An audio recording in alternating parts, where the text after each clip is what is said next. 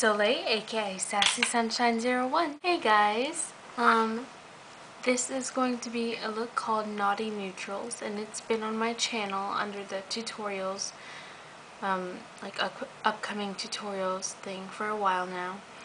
And uh, if you want to see what looks I will get to, whether it's tomorrow or eventually, you can look on my channel, and I have pretty much all the looks that I will do. And um, I make it my goal to get all of them done, like, for serious. I really want to do all those series, and of course all the tags that I've been neglecting, uh, forgetting about, yeah. Um, so, today's look is Naughty Neutrals, and it's naughty because of the cat eye, which I forgot to film, sorry, and the blackness in the corner. It's kind of a fail tutorial because I'm trying to figure out my best camera angle. Um, I'm in my new dorm and I don't really know what stuff to put under my camera yet to make the perfect angle. So bear with me.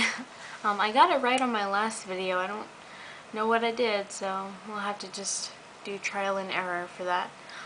Um, today's look is using mostly MAC products because um, I figure a lot of peop more people own Mac than some of the litter littler companies that I usually use, which I love. I love little companies.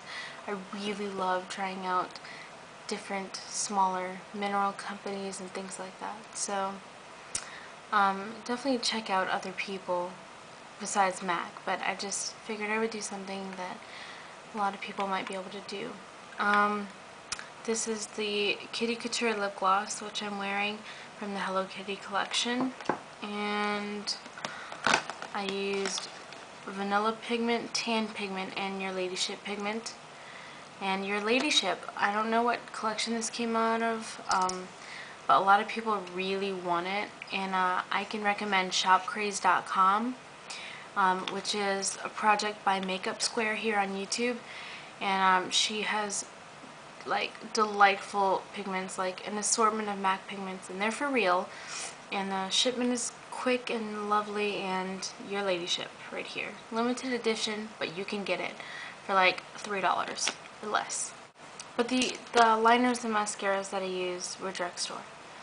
Um, I'll list all the products in the sidebar. I need to start doing that again. Oh, and the Petticoat Mineralized Skinfinish. I use that um, for blush. You might not be able to tell in the lighting, but I did. And so I'll have pictures. I'm really like starving, so I hope you don't mind if I didn't talk for this tutorial. I'll just put like some captions and whatever, and I hope you can enjoy it that way. But yeah, I just really want to get out of here and eat something. Thank you to all my new subscribers. Thank you so much. You have no idea how excited I am for you to have subscribed to me. It really means a lot. I hope you enjoy all the videos I have coming up. And I hope you'll stay subscribed and just enjoy the show. So, yeah, thanks for watching and have a fabulous day.